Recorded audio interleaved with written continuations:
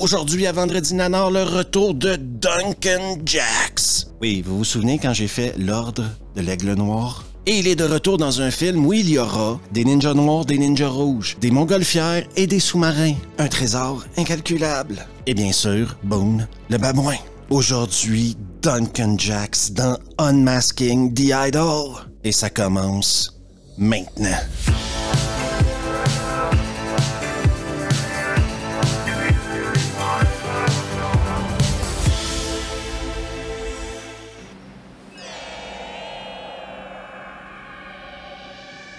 Le film commence par nous transporter dans un hôtel où Duncan Jacks vole une micro-cassette. Malheureusement pour lui, il sera surpris en flagrant délit.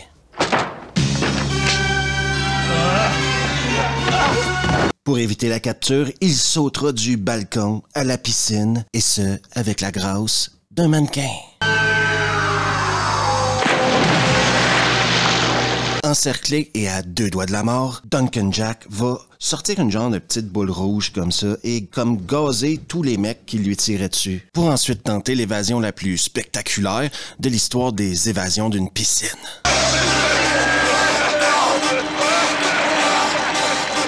Oui, c'est bien un ballon gonflable.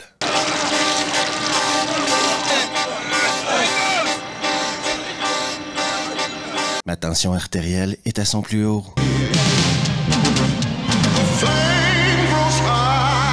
Un générique comme on n'en voit plus.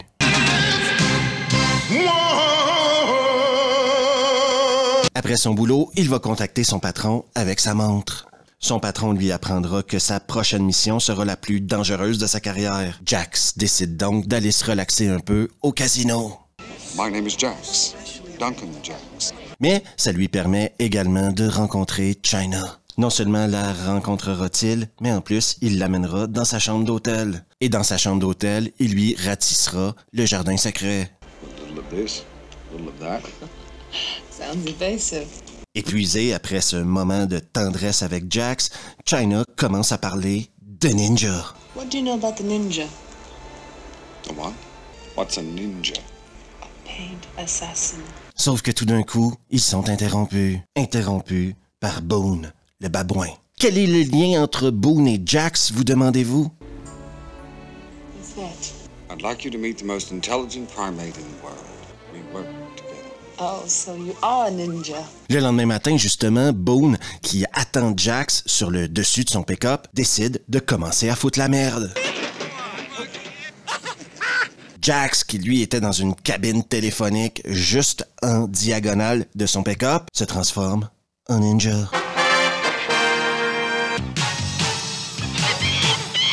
Et bien sûr, il sauvera Boone. Faut avouer que c'est pas très subtil comme euh, type de ninja, hein? Si t'es le seul ninja au monde qui se promène avec un babouin, sois pas surpris si tout le monde sait que t'es un ninja. Mais bon, après avoir cassé du glandu, il monte dans le pick-up et se dirige vers sa base secrète.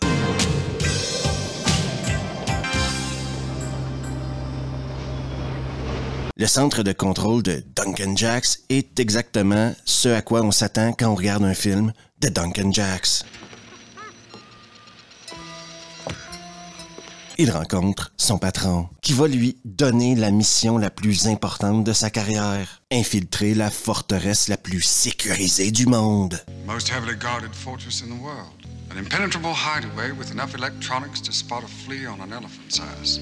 À l'intérieur de la forteresse, il y aurait une quantité incroyable d'or. Duncan Jacks devra voler cet or, parce que sinon, les méchants vont utiliser cet or pour créer des armes nucléaires et déclencher la troisième guerre mondiale. There are hostile forces that would use that gold to equip a submarine with nuclear warheads. On apprend également, et ça je vous le dis tout de suite, ça m'a jeté sur le cul, que cette organisation-là serait également derrière l'assassinat des parents de Duncan Jacks. Si ça, c'est pas de la motivation pour un personnage, rien va motiver un personnage. Responsible for the death of your parents? D'ailleurs, parlant de l'organisation, je vous le dis tout de suite, c'est pas des rigolos. À temps perdu, quand ils ont rien à faire, ils s'amusent à tuer des vieux.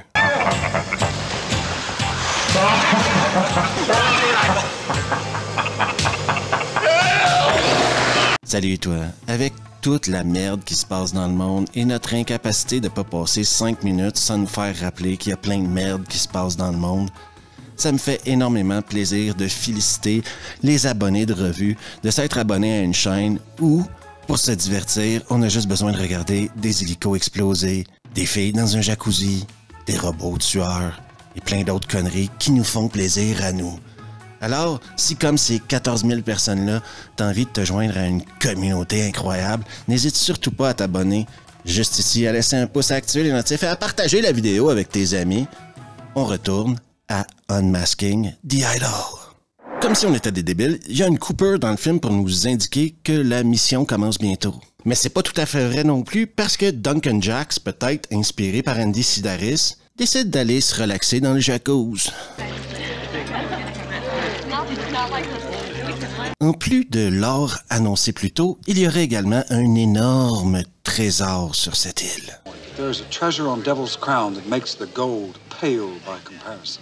L'homme aux dents d'or se pointe chez les rouges. Et oui, l'homme aux dents d'or est un homme qui aime l'or. Et encore une fois, dans un film de Duncan Jacks, on se retrouve dans des décors de Sidney Fox, l'aventurière. The gold must be counted and every bar examined before I ready to. Qui est cette fille-là, là? Elle pique ma curiosité. On y reviendra parce que Duncan Jacks maintenant a besoin de deux gars. Un, il a besoin d'un pilote d'hélico spécialiste des explosifs qui s'appelle Bugs. Donc, avant d'aller sur l'île, faut aller chercher Bugs. Bugs, apparemment, vit dans un coin tout pourri de New York. À peine arrivé, qu'on doit envoyer Bone pour gazer du glandu. Look, it's a monkey. It's dressed up in a ninja suit. Look. Duncan Jacks et une blonde montent donc dans le building, et tout d'un coup, c'est plus si pourri que ça. Non, on dirait que toutes les pièces sont blindées. Ils se retrouvent même dans une pièce blindée qui se referme sur eux. Sounds like things are going to get even tighter. Qu'est-ce qui pourrait bien les sauver? Un gadget? De Sato? Un genre de chalumeau miniature qu'il a dans sa montre.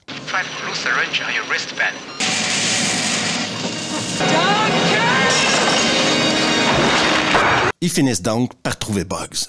Secondly, you apply your specialty demolitions. Ça tombe bien parce que Bugs va les aider à trouver la baleine. Et le lendemain, ils arrivent en hélico sur l'île où la baleine est emprisonnée. Traîner un babouin partout où tu vas, surtout en mission, on peut voir ça comme un inconvénient. D'autres le verront comme l'opportunité d'avoir un lance-grenade mobile. Sacré boone. Duncan, lui, trouve la baleine qui lui sera utile à trouver l'entrée secrète pour aller sur l'île. Et vous verrez que son surnom de baleine est vachement subtil. Somewhere in your brains or on your body, there's a map. Duncan Jacks. I'll make you a bargain. Et il n'y a rien comme une évacuation en hélicoptère pour nous rappeler qu'on est à Vendredi Nanor.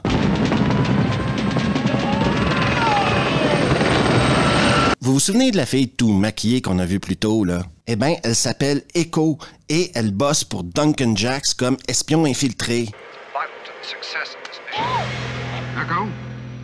Duncan Jacks, maintenant, il a des objectifs clairs, nets et précis. Il veut tuer les terroristes, tuer l'homme aux dents d'or, garder tout l'or, plus trouver le trésor secret. Et là, il est en train de briefer toute son équipe là-dessus. Et c'est une scène de dîner où ils sont tous assis à table dans une atmosphère japonais. Et c'est là que tu te dis que ce film-là se prend vachement au sérieux des fois. I don't mean to put a damper on things, but if you have any questions about your assignments, now might be the time. Les ninjas rouges n'acceptent pas la trahison. Echo va passer un très mauvais moment. And we know what happens to bad little girls like you. On a maintenant le droit un briefing de prémission digne du retour du Jedi. Make sure you understand every detail. Red Team landing will follow the diversionary drop by approximately one minute. L'assaut peut commencer. All forces to the west beach. Mais les forces ennemies sont prêtes. They're all dummies. We've been tricked. Sauf qu'ils ont beau être prêts, ils sont pas aussi malins que Duncan Jacks. Non, parce que pendant que eux ils tirent sur des mannequins, les véritables ninjas débarquent de l'autre côté de l'île. Et là, tu te rends compte qu'il y a un mec qui a des yeux de lynx. OK? Scarlet Leader, our units report that Duncan Jax is flying in. Et dès que Duncan Jax atterrit sur l'île, on a droit à une baston incroyable avec des cris de Bruce Lee. Sur l'île, c'est le code de la guerre. Les salauds vont faire péter l'hélico de Bugs. Et ça, ça va vachement énerver Boone, OK? Il va donc décider de se taper un escouade de ninja rouges.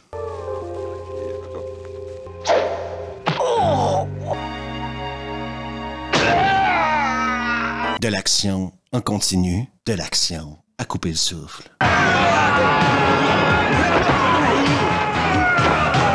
Duncan, accompagné de la baleine, de la blonde et de son babouin, pénètre dans l'enceinte terroriste. À quatre, ils devront traverser une pièce remplie de crocos.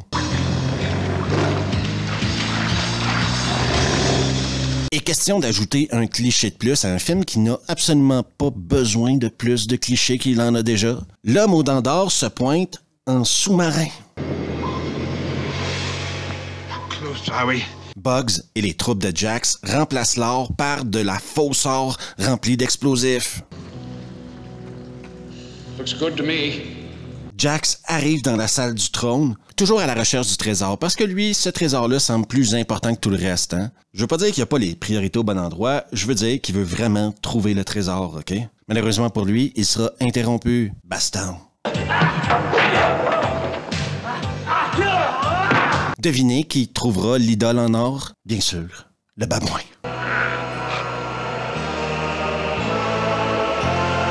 Mais à l'intérieur du Bouddha se trouve le véritable trésor, celui que Jax cherchait depuis le début. Here's the real treasure. Avec plus ou moins 10 minutes à faire au film, est-ce que Jax réussira à accomplir tous ses objectifs? Déjà, arrivera-t-il à tuer le chef des terroristes? Révélation! Ce n'est pas un homme, mais une femme. En plus, c'est China, la fille à qui il a ratissé le jardin secret plus tôt dans le film.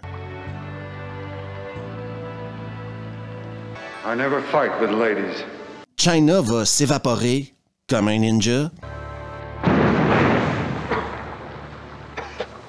Et ça, ça va forcer Jax à se battre contre un grand blond. Vous vous souvenez que l'homme aux dents est venu en sous-marin et il se retrouve avec l'or rempli d'explosifs. Je vous rappelle qu'il est dans un sous-marin. D'après vous, il se passe quoi?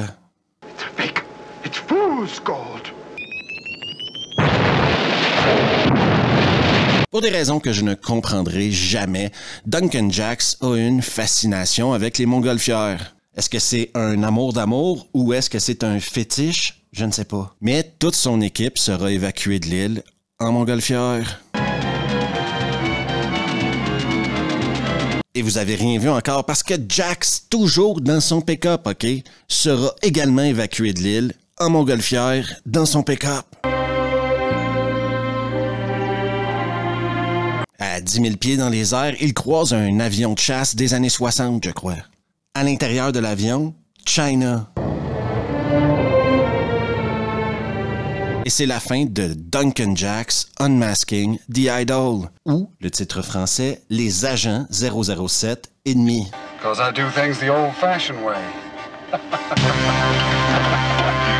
Donc, Unmasking the Idol est un film de 86, L'Ordre de l'Aigle Noir est un film de 87. Je règle tout de suite le débat, L'Ordre de l'Aigle Noir est meilleur. Ben, meilleur dans le sens où, vous comprenez ce que je veux dire, meilleur dans le sens nanar.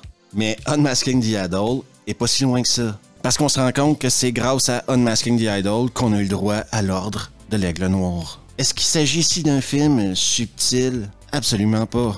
Est-ce qu'il s'agit ici d'un très bon nanar? Oh, que oui.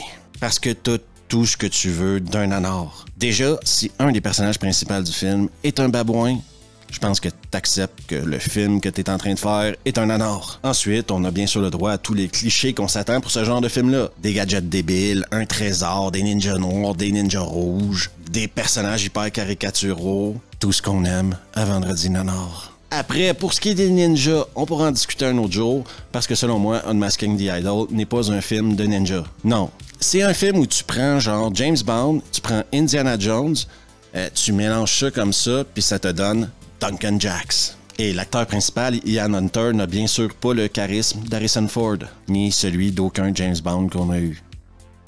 Mais au moins, il se prend vachement au sérieux dans ce film-là, et c'est ce que j'aime. Le plus dur pour convaincre les gens de regarder ce film-là, c'est que j'ai pas trouvé de VF. J'ai même pas trouvé de sous-titres en français. Ça m'étonne parce qu'il existe un titre du film en français, Les Agents 007 et demi. Pas faute d'avoir cherché, j'ai juste pas trouvé. Et ce sera peut-être pour certains euh, la plus grosse haie à franchir pour choisir de voir ce film-là, le trouver en VF. Mais si vous comprenez l'anglais, vous allez passer un bon moment.